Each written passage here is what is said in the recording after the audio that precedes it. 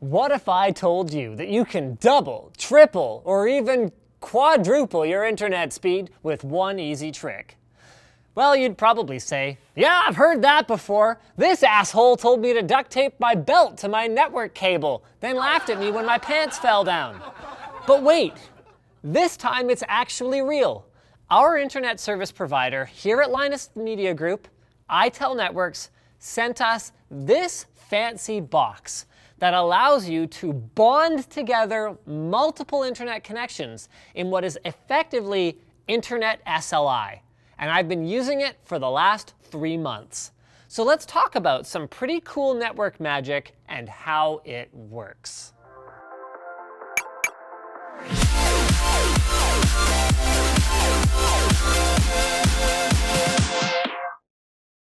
G Fuel is the sugar free alternative energy beverage to maintain focus and endurance over long days and gaming sessions. Save some money using code Linus at the link in the video description.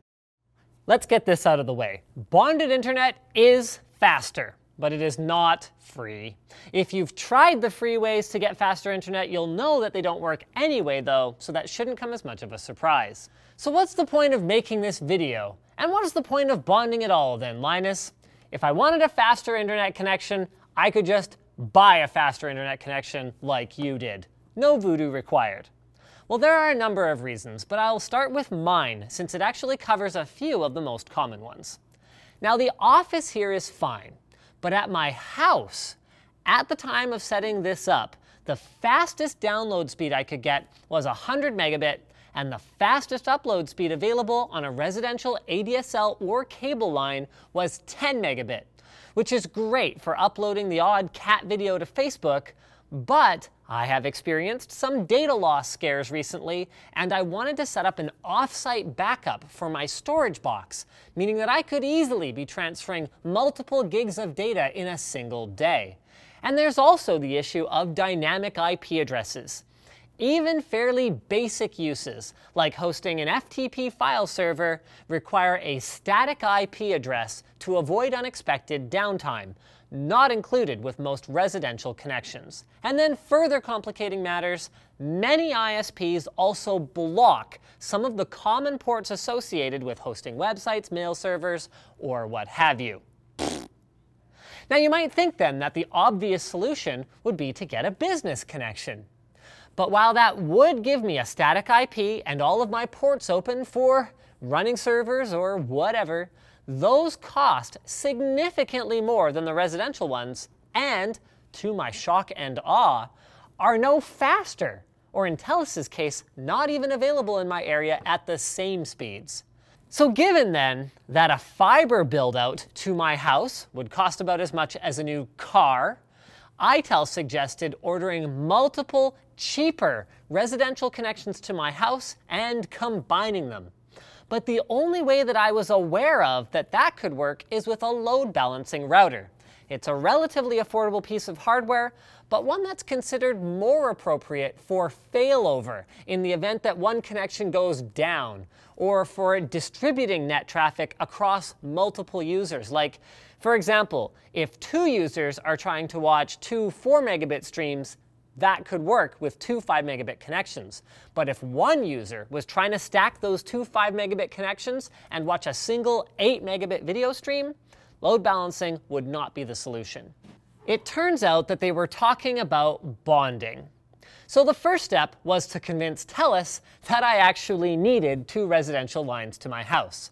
So I got two of the 50 down, 10 up packages, and the installers helped me run the phone lines to my server room, insisting the whole time that they'd be back in a week to take one of them out when I found out that this wasn't going to work. This all took place back when I was doing the conclusion of Personal Rig Update 2016.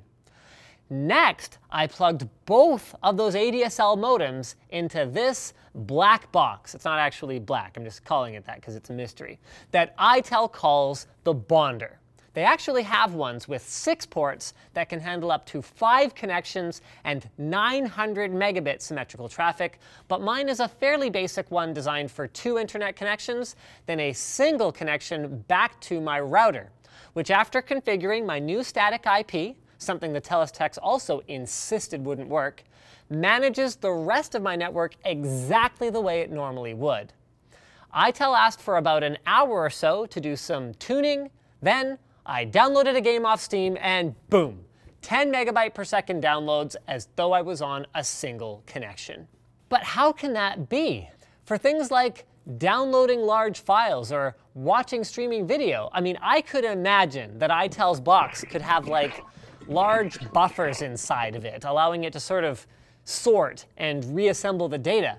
But that kind of solution would work terribly for real-time applications like online games, and they insisted it wouldn't add much latency even, which turned out to be true.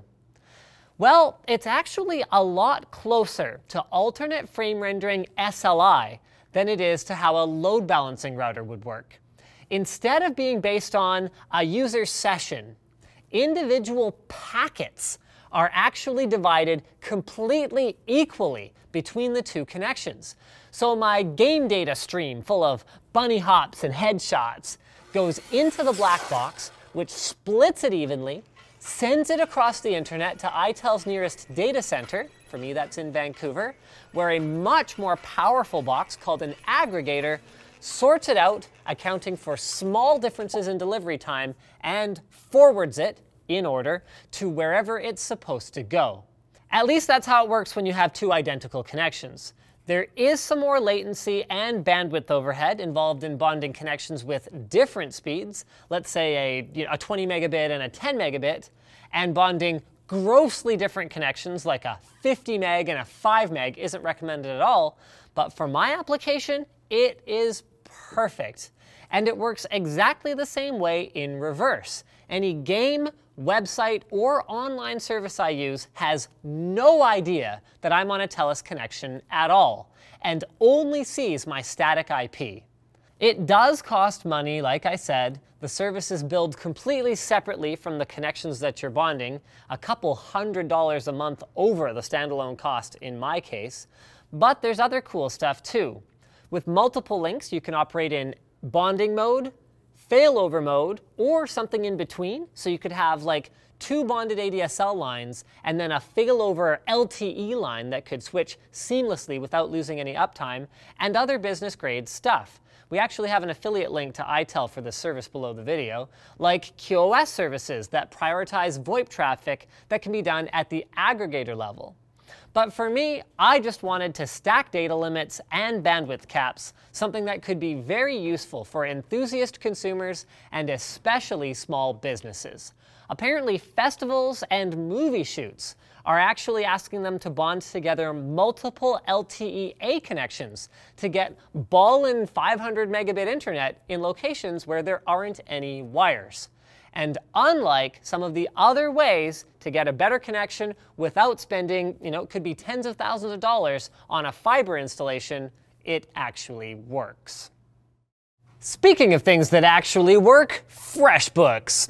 FreshBooks is the super simple cloud accounting software that's helping over 5 million small service-based business owners conquer their admin and paperwork in a lot less time with way less stress, giving them more time to spend doing the actual work instead of all of that stuff that they don't like. It takes about 30 seconds to create and send a polished, professional looking invoice. You can take pictures of your receipts on your phone using FreshBooks' mobile app, and you can make claiming your expenses a million times easier. You can track your time either from your phone or your desktop, meaning you'll know who you did work for, when you did it, and how much you did. And if you have any questions, FreshBooks' award-winning customer service is amazingly helpful. FreshBooks customers on average save two days out of the month, two days on administrative work.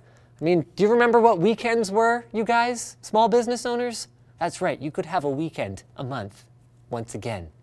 Anyway, for unrestricted 30-day full access as a free trial, head over to freshbooks.com slash tech tips and enter Linus Tech Tips in the How You Heard About Us section. So thanks for watching, guys. If this video sucked, you know what to do. But if it was awesome, get subscribed, hit that like button, or even consider checking out the link in the video description to where to buy the stuff we've talked about, usually on Amazon, but in this case, It'll be the ITEL link I referred to before. Also in the video description, we've got our merch tour. We've got uh, our forum, which you can join and discuss with people. I've actually got our old non-Amazon affiliate compliant outro here. This is a video I had started a long time ago and not finished, so that's why this is coming across kind of awkward. But uh, awkwardness over now. Video done. Bye.